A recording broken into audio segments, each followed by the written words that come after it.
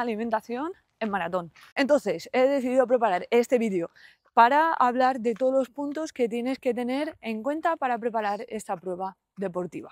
El primero y uno de los puntos más importantes es la alimentación del día a día. Como sabéis, bueno, todos estos puntos que voy a hablar hoy los ah, dividí uno por uno, eh, entrando mucho más en detalle en el curso de alimentación en el maratón. Y fue uno de los puntos más importantes, o sea, el curso ¿vale? Para mí el punto más importante es la alimentación del día a día. No tiene ningún sentido, pero es que ninguno, ninguno, tomar suplementación, ya sea creatina, betalanina, tomar geles, hidratos de carbono, eh, si tu alimentación del día a día no es acorde a tus entrenamientos. Esto es pilar fundamental de mi trabajo en el programa Alimenta tu meta. Es decir, tu alimentación debe de ir adaptada al entrenamiento y a tu estilo de vida. No necesita lo mismo una persona que trabaja ocho horas sentada que una persona que trabaja en una, en una fábrica, en una línea, cargando tableros, ¿vale? Y que luego tiene el mismo entrenamiento que el otro. El entrenamiento no tiene nada que ver un farlek, unas series, que un rodaje. Eh, no tiene nada que ver un entrenamiento de 50 minutos con un entrenamiento de hora y media. Las necesidades de hidrato de carbono, proteína y grasa tienen que estar cubiertas y en función de este entrenamiento. Por ello, yo tengo implementado una aplicación para trabajar con mis deportistas. En esa aplicación, eh, yo lo que hago es, bueno, el, deportista vuelca el entrenamiento y en función de ese entrenamiento yo cada día le pongo lo que tiene que comer exactamente. Por lo tanto, esto es un punto fundamental, la alimentación del día a día. Segundo punto fundamental es entrenar la nutrición, ¿vale? La alimentación se entrena, ya sabéis que es mi lema y es el nombre de mi canal de YouTube. ¿Por qué? Porque es una frase que he utilizado muchísimo durante todo, todos mis años de trabajo y para mí esto es fundamental, pero muy, muy, muy fundamental, entrenar la alimentación. Y no solamente la del día a día, por ejemplo, hay una cosa que para mí es súper importante, que es, por ejemplo, eh, no tomar los yogures azucarados, sino tomar los naturales, y es algo que vas a pensar, esto es simple. Pues muchas personas toman el yogur, eh, pues eh, este yogur azucarado, y yo muchas veces digo, oye, tómatelo natural, y me dicen, no, es que eso está malísimo, tal. Esto se entrena, te puedes acostumbrar, ¿vale? Con unos días tomando ese yogur natural, lo vas a notar con, con un buen sabor. Entonces esto es un entrenamiento. Lo mismo en la suplementación durante la competición. Hay que suplementarse durante los entrenamientos y luego replicarlo en la competición. Por lo tanto, si necesitamos de hidrato de carbono para preparar un maratón entre 60 y 90 gramos por hora, en los entrenamientos debemos de replicar lo mismo, ¿vale? Va a depender un poco de la intensidad, de ese ritmo que vayamos a llevar, etcétera, llegar a esos 90. Incluso ya sabéis muchos que tengo deportistas en mi programa Alimenta tu Meta que están llegando a 120 por hora, aunque corredores de asfalto es un poco más complicado, pero sí que, sí que he llegado con algunos deportistas. De hecho, Javi, que este año va a 2.45 Maratón de Valencia, está consumiendo esos 120 gramos por hora. Bueno, dicho todo esto, hay que entrenarlo. Por lo tanto, entrenarlo es aplicarlo en el día a día. Ya os he hecho una pequeña introducción de los hidratos de carbono. Los hidratos de carbono durante la actividad deportiva eh, va a depender de la duración. O sea, en nutrición siempre hablamos de la duración. Por ejemplo, si un entrenamiento va a durar menos de 60 minutos, decimos que simplemente con un enjuague de bebida isotónica o hipotónica ya vemos una mejora del rendimiento. Si ese entrenamiento de menos de una hora va a ser a muy alta intensidad, por ejemplo unas series, ya necesitamos aportar unos 30 gramos aproximadamente de hidrato de carbono. Después, si el entrenamiento va a durar más de una hora, decimos que debemos de tomar entre 30 y 60 gramos. Ahí hablaríamos de una media maratón, de un farlek, etc. Lo único que aquí, si estás preparando la prueba del maratón, puede ser que algunos de estos entrenamientos debas de llegar a simular lo que vas a hacer en el maratón.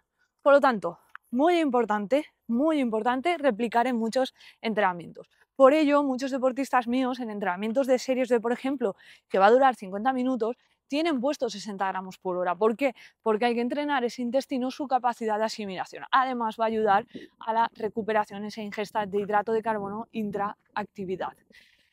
Dicho esto, cuánto debemos de consumir si el entrenamiento va a durar más de 90 minutos. Ahí debemos de llegar entre 60 y 90 gramos por hora, que ahí estamos hablando de la prueba del maratón. Por lo tanto, esto lo tienes que saber. Tienes que saber qué lleva tu bebida isotónica, qué lleva tus geles, etc.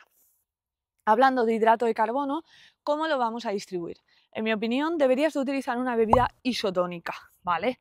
¿Por qué una bebida isotónica? Una bebida isotónica tiene una concentración muy parecida una osmolaridad muy parecida a nuestro torrente sanguíneo, por lo tanto es la que mayor capacidad de rehidratación va a tener. ¿Por qué? Porque es otro de los puntos fundamentales en rendimiento en maratón. La deshidratación hace que, por ejemplo, aparezca el muro, que vengan problemas, que venga la aparición de la fatiga, etc. Para evitar esto tenemos que ir rehidratándonos. Por lo tanto, muy, muy, muy importante aportar hidratación durante nuestros entrenamientos. Y lo idóneo es una bebida isotónica.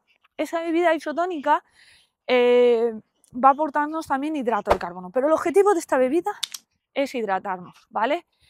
Ese aporte de hidrato de carbono tenemos que saber cuánto es. Pues por ejemplo, si estamos bebiendo aproximadamente 500 mililitros por hora de bebida isotónica, ya sabemos que estamos tomando entre 40 y 45 gramos por hora de hidrato de carbono. Si necesitamos en ese entrenamiento aportar más, ya optaremos por geles deportivos en el caso de maratón, porque es lo más fácil, ¿vale? ¿Podríamos optar por sólido? Sí, podríamos optar por sólido, pero lo más fácil es tomar geles deportivos. Dicho esto, ¿cómo deberían de ser esos geles deportivos o esa bebida isotónica? La evidencia científica nos lo dice muy claro a día de hoy. ¿Por qué? Porque son los productos que mayor capacidad de oxidación de hidrato de carbono, es decir, de utilización durante los entrenamientos o durante la competición, y también los que menos problemas gástricos da y los que mayor facilidad de utilización que tenemos, ¿vale? Que es combinar maltodextrina y fructosa. Además sabemos en dos ratios, en ratio 2,1 o en ratio 1,0,8. Así que súper, súper, súper importante que ese isotónico y ese gel contenga esto. Además, el sodio es otro de los minerales más importantes durante el maratón. Por lo tanto, os acabo de dar las tres claves, es decir, hidratación, aportar agua, aportar hidrato de carbono y el tercero, aportar sodio. Son los tres imprescindibles intraentrenamiento y intracompetición. Ahora hablaremos de si hace falta añadir más cositas, ¿vale? Pero esto es fundamental. ¿Y cuánto tengo que beber? Vale. Tienes que beber en función de tu tasa de sudoración. Y esto tengo vídeos enteros hablando de cómo deberías de calcular tu tasa de sudoración. Súper, súper, súper importante saber esto. Cómo calcular tu tasa de sudoración. Porque todos tenemos un colega que termina el maratón empapado, chorreando los pantalones y todos tenemos a gente, como en mi caso, que no sudamos nada, nada, nada. Entonces vamos a necesitar beber de manera diferente. Dicho esto, eh, muchas personas nos gusta, además muchísimos, la mayoría, llevar un show flash en la mano para correr.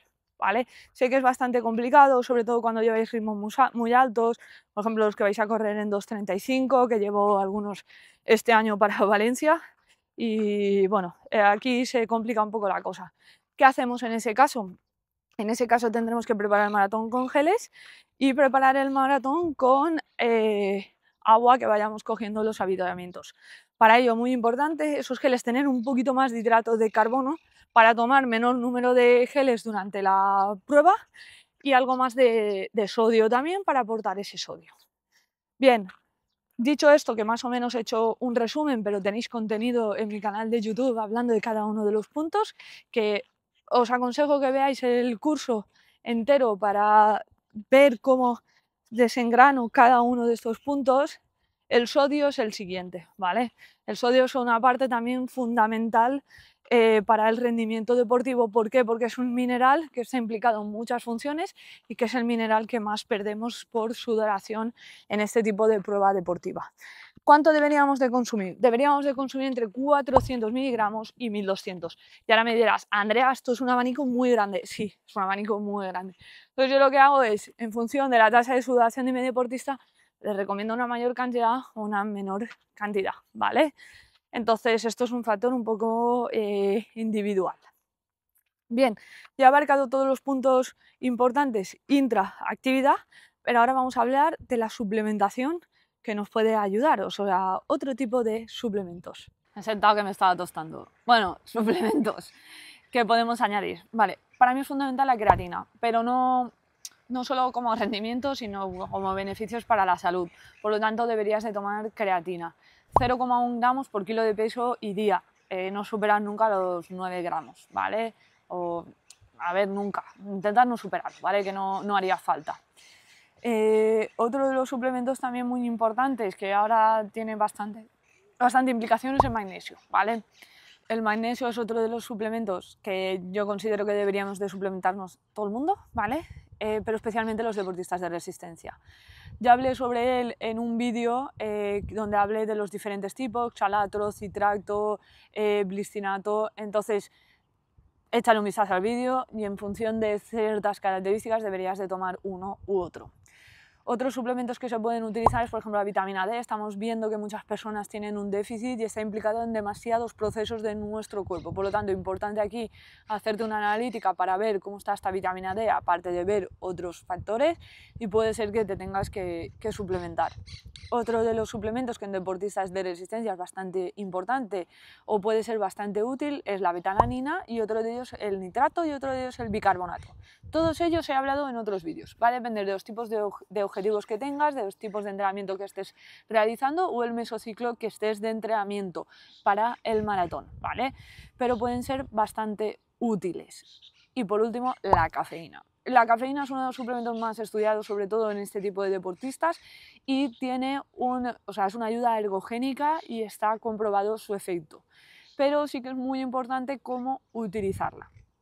Es muy importante utilizar la cafeína de la siguiente manera hace efecto a partir de los 45 minutos, 45-60, y su efecto dura hasta unas dos horas. Por lo tanto, si la prueba es larga y te haces un café por la mañana, no dejes al último gel la cafeína, por favor, por favor, ¿vale? Intentan cumplir esto, ¿por qué? Porque hay pico de bajada. Por lo tanto, el último gel con cafeína no tendría sentido porque te empezaría a hacer efecto meta. Por ejemplo, hay mucha gente que no, yo en el kilómetro 30, 32 me tomo el gel con cafeína. Vale, te va a hacer efecto en la meta, ¿vale?